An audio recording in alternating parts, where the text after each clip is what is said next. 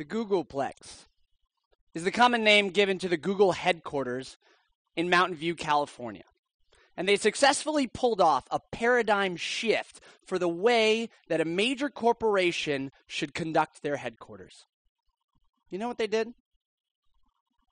They actually made the CEOs of the world believe that if you want to get the best out of your staff, if you want to motivate your staff to be creative, you need to change that physical headquarters into a fun and engaging place to work.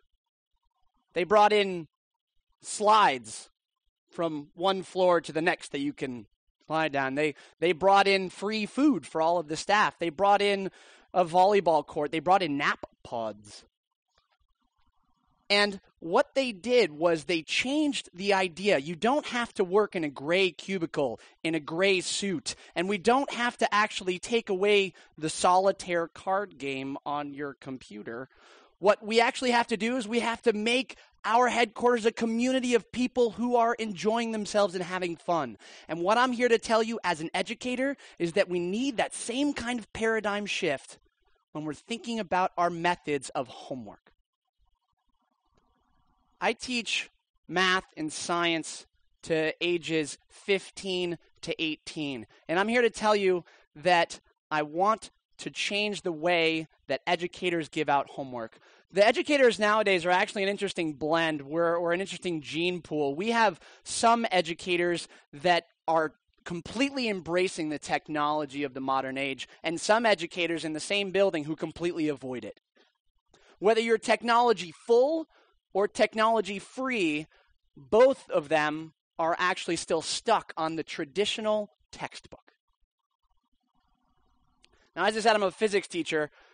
Don't judge me harshly on that. I promise that my students do enjoy class. Um, and this is a common physics image. I hope I'm not hurting anybody's emotional and memory here. What we've got is we've got we've got a piston, and as the volume of the piston decreases, the pressure increases. And I can see some of those nods in the room, right? Uh, and what ends up happening is that this textbook was actually printed in 2004. If you do a little bit of research, what you'll find is that a very similar image was actually written by Enrico Fermi in his original thermodynamics textbook. It looks like this.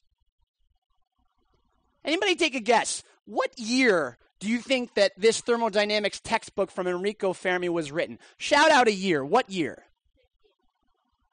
1956.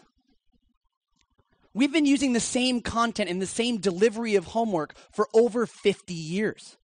We're regurgitating the same content. The images and the style of delivery of information hasn't changed.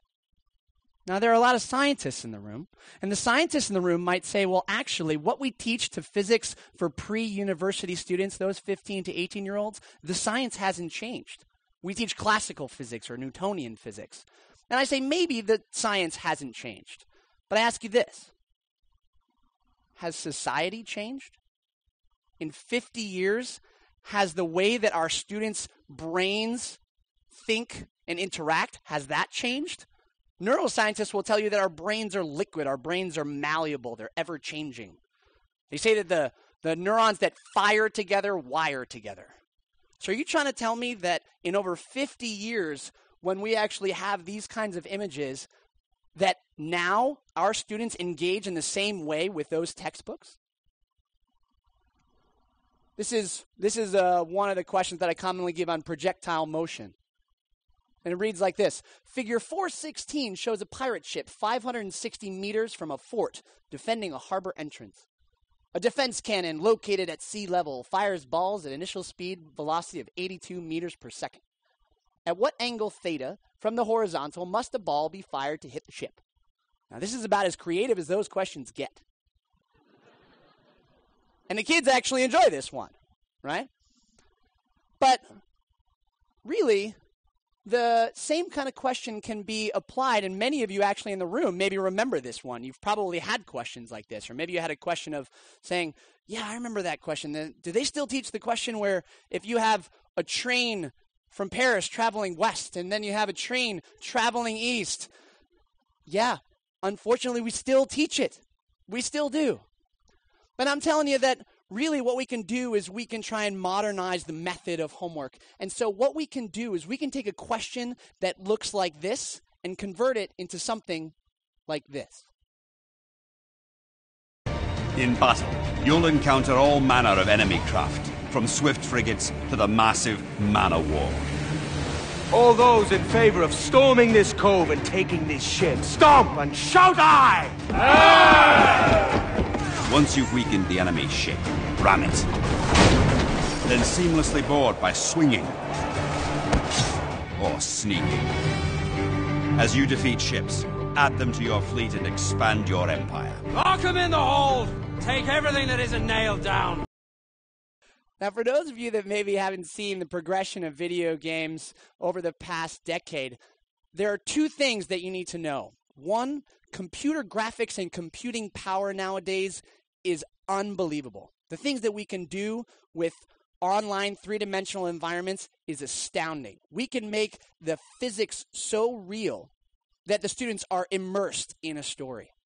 Second, try and consider a community of students trying to figure out a projectile motion question at home. Some of you in this room maybe remember those days of agonizing, sitting at home, working through these physics problems, banging your head against the table because you can't quite figure it out. These students are online, they're engaging. These games, you can have thousands of students logged in at the same time. What if you could actually take that question and put the student on that ship? with their classmates at home. That ship has 40 cannons. Students can talk with one another over their microphones within the game.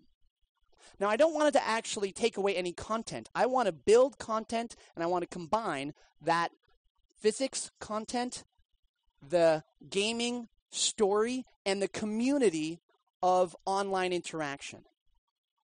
Bring those three together and you have a powerful homework message. Now, what there are two games which have already started to do this. The top one, Quest Atlantis, there have been educational studies already that have actually looked at comparing a traditional learning style to a gaming environment using Quest Atlantis. And what they found was that the gaming environment, the students not only learned more, they remembered more. Secondly, the Radix endeavor comes from our friends over at MIT in Massachusetts. And what that they actually ask is they say, What are you really getting from homework? The teacher can figure out numbers, but can they actually figure out persistence of a student? Can they think about the problem solving of a student? Can they think about teamwork and cooperation, those kinds of community ideals we're talking about?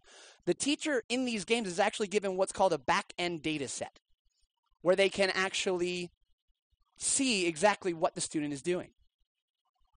Now, as I said, I'm a physics teacher, and my physics students and I have actually worked out the entire curriculum of physics for the International Baccalaureate program for those 15 to 18 year olds, and we've placed it into one extended storyline adventure. They start over in the world of kinematics, motion, as most physics programs do. And then as they go through the units, we've converted that into a geographical place. They go from kinematics to forces. From forces, they can go up to the islands and look about magnetic or gravitational fields. And they actually, then, when they think about moving from one area to the next, they can see how those units link that they never could before when they just see separate different chapters within textbook. And not only that, what we're doing is we're creating an environment where they're intrigued, they're curious, and they're enjoying what they're doing because they're excited about it. So, in the near future, I hope to be able to teach physics and then tell my students that I want them to study for that midterm exam. I want you to compile all of your knowledge and skills over the past semester and bring it together in one big test. But in order to do that, I want you to prepare. How do I want you to prepare? I want you to seize the castle. Go home this weekend and I want you to log into our game and I want you to work on your projectile motion as an archer.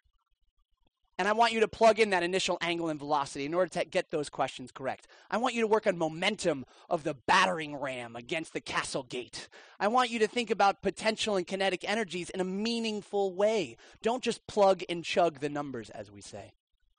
Not only that, do it together with friends over the weekend. And when you come back, I want you to tell me that you were victorious. That's the kind of homework that I want to give. So if we can think about the possibilities that are there, these textbooks that we've had are decades old. And if the decades are old, then really what we're talking about is that society has changed. And maybe we can change homework as well. Thank you very much.